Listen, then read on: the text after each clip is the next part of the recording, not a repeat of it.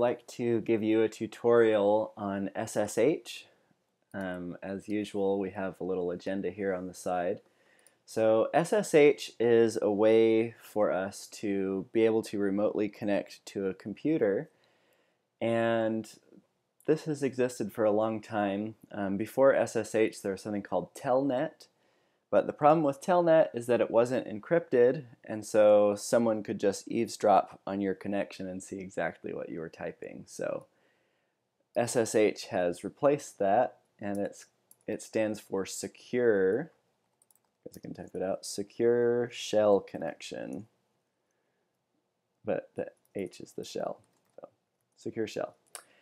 Okay, so let's connect to um, the computer science department's server.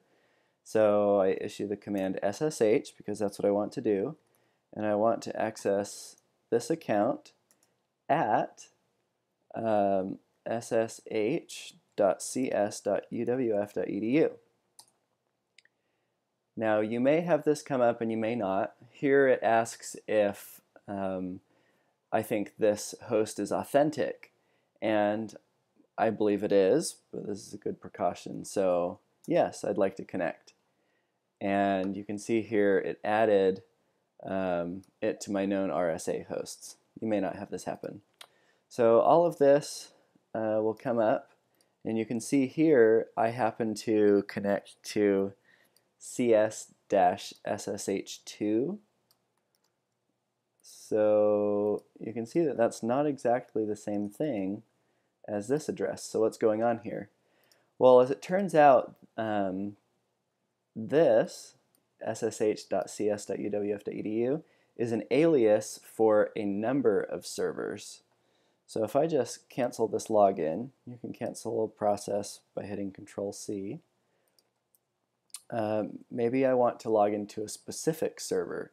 Maybe I know that one of them is malfunctioning. So I could connect to cs-ssh1.cs.uwf.edu. And apparently that one's not accepting connections anymore. I could try 3. And see, since this is a different machine, I didn't recognize it. So there's number 3. Um, and last I checked, there were 5. So anyway, I want to go ahead and log in now. So I'm going to put in my ArgoNet password. And okay, here we go. I'm logging in again, and I wasn't here too long ago either. So let's see where I am present working directory. Okay, so I'm in my ArgoNet under my user, and I'm going to go ahead and move into my documents directory.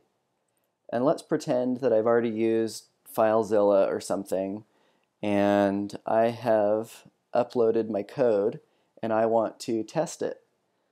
So I would do this the same as I would from a command line on my own computer. After all, it's still a bash shell. So I guess I could, since I don't have a makefile here, um, I could use GCC and I just let it do its thing. So you can see it compiled a dot out, and there it is. It's good to go. And just like on a local machine, um, if I have a problem, um, let's comment this out and recompile. Um, look at this, I've got a warning. I have an implicit declaration of printf and that's because I'm calling printf without importing the library. So I can go back into here, go into insert mode, delete that, and I should be back in business. So that's just a little overview of SSH. I hope this helps you in um, testing your code on the testing server. Now keep in mind that you can upload and test your code here, which is the computer science department server. However, you can only upload code to the testing server that Professor Reichherzer has set up for this class. You can upload code, but not, but not uh, SSH in there. So what you need to do is upload your code also to your account on the computer science department's SSH server and test it there. And that's fine because both server environments are identical.